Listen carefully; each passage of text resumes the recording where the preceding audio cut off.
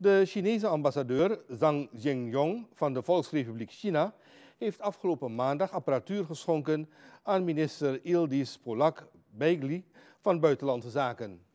De schenking bestond onder andere uit scanners, een desktopcomputer, video- en fotocamera's. Bij deze gelegenheid memoreerden zowel de minister als de ambassadeur de uitstekende bilaterale relaties tussen de beide landen, als ook de bijzondere, spontane en pragmatische relatie tussen de ambassade en het ministerie.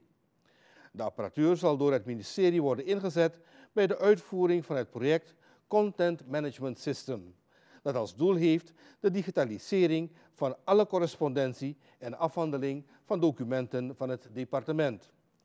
Dit zal moeten bijdragen aan een vergrote efficiëntie en effectiviteit van dit ministerie.